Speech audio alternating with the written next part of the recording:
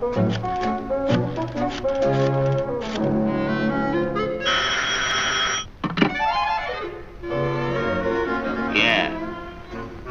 Yeah.